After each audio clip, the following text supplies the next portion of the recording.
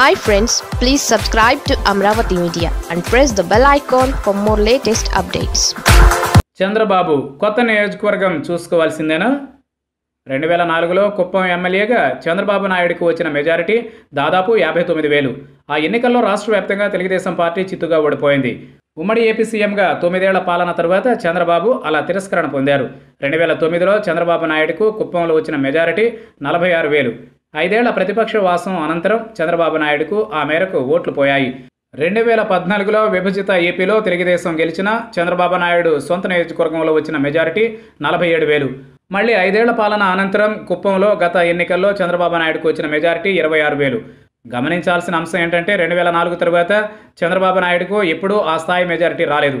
రెండు వేల నాలుగుతో పోలిస్తే రెండు వేల పంతొమ్మిది నాటికి చంద్రబాబు నాయుడు మెజారిటీ సగానికి సగం అయింది.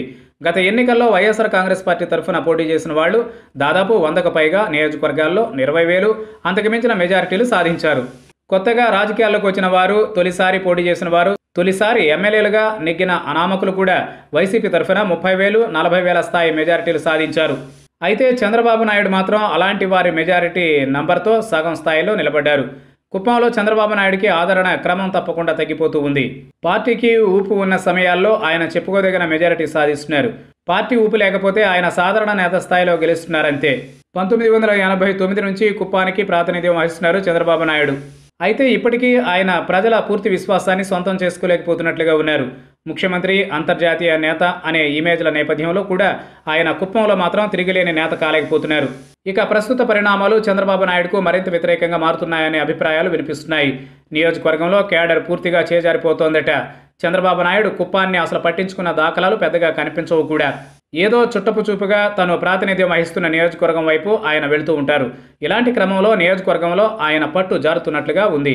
ఈ పరిస్థితులు గమనిస్తే వచ్చే ఎన్నికల నాటికి చంద్రబాబు నాయుడు కుప్పం నియోజకవర్గం మీద ఆశలు వదిలేసుకోవాల్సిందేమో అనే అభిప్రాయాలు వినిపిస్తూ ఉన్నాయి. ఇప్పటికీ తెలుగుదేశం పార్టీ క్షేత్రస్థాయి కార్యక్రమాలు పెద్దగా ఏవీ లేవు. చంద్రబాబు నాయుడు కుప్పాన్ని అసలు పట్టించుకున్న దాఖలాలు పెద్దగా కనిపించవు కూడా. ఏదో చుట్టపు చూపుగా తను ప్రాతినిధ్యం వహిస్తున్న నియోజకవర్గం వైపు ఆయన వెళుతూ ఉంటారు. ఇలాంటి క్రమంలో నియోజకవర్గంలో ఆయన పట్టు జారుతున్నట్లుగా ఉంది.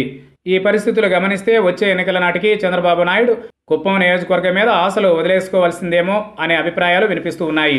ఇప్పటికీ తెలుగుదేశం పార్టీ క్షేత్రస్థాయి కార్యక్రమాలు పెద్దగా ఏమీ లేవు.